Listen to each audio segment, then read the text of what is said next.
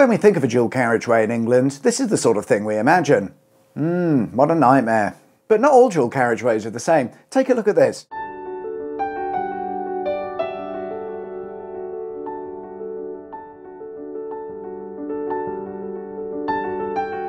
The sign says dual carriageway, yet you're in Norfolk, surrounded by farms, field and nature. Say what? This is Tunstead Road. And this is also Tunstead Road. And so is this, and it's this Tunstead Road that we'll be looking at today. It's quite a short section of road, but its unique feature is that for around 6 or 700 metres, the road falls under D1 classification. The road classification system came around in the 1920s as a way to number or mark roads to allow for ease of journey planning, and in the 1960s the system was overhauled to allow for the newly built motorway system. Dual carriageways were assigned with the letter D with the number following corresponding to the amount of lanes that that road had. So, for example, a D2 road would be a dual carriageway that had two lanes in each direction. Therefore, a D1 road would be a dual carriageway with one lane heading in each direction, and that's exactly what we've got here at Tunstead Road. Some of you might be thinking, how can it possibly be a dual carriageway with only one lane in each direction? A dual carriageway isn't defined by the number of lanes that it's got, it's down to the separation between the carriageways. If there's a clear separation between the carriageways, then it can be classed as a dual carriageway no matter how many lanes there are on either side. Tunstead Road is your fairly typical English B road, but at one end the carriageway splits into two, giving us this rural dual carriageway.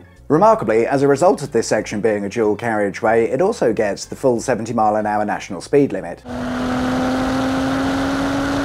So that's what it is. The next question is why it is. To answer that, we need to look a short distance to the west where we find Coltishall Airfield, or RAF Coltishall if you prefer. Before the airfield, there would have been nothing but potato fields covering the area, but in 1938 plans were announced to build an airfield on 530 acres of farmland. And perhaps this was quite good timing given that there was a large-scale argument about to break out in 1939. The airfield opened in 1940 and apparently it's quite common for airfields to take the name of the nearest railway station, which in this case is Buxton. However, they didn't choose the name Buxton for this airfield because they thought it would create confusion with the town of Buxton in Derbyshire. Instead, they went for Scottow before settling on Coltishall. The first aeroplanes to arrive at Coltishall was a squadron of Spitfires and Hurricanes who played a key part in the Battle of Britain. And it's believed that the first enemy aircraft neutralisation was performed by a Spitfire that flew from Coltishall.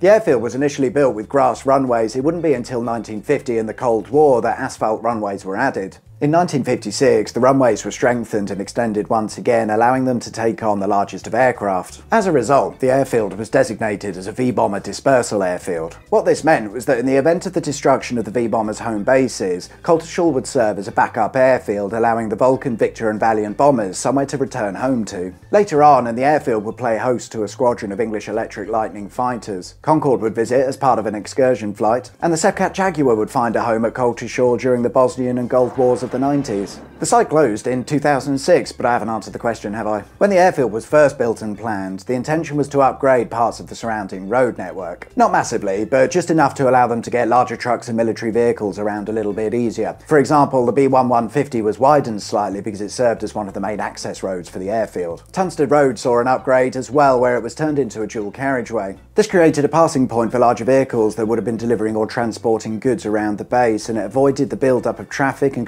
creating a traffic bottleneck. The mystery, though, is when. When did this road get changed to a dual carriageway? If we look at an early 1900s map, we can see that it's just a simple B road. And if we look at more modern maps, we can see that, yeah, it shows as a dual carriageway, but in between it's all a little bit unclear. I can't tell you for sure because it seems that the information just doesn't exist, but we do have a couple of options. It could have been done when the airfield was first built, along with the upgrades applied to the B1150, and that kind of makes sense. But it also makes sense for the additions to have come later in the 1950s when the airfield extended the runways and site boundaries. During the Cold War, you might have been moving large missiles around which were stored on the east side of the airfield, so a passing point or two probably helped a bit. If anybody knows for sure, let me know.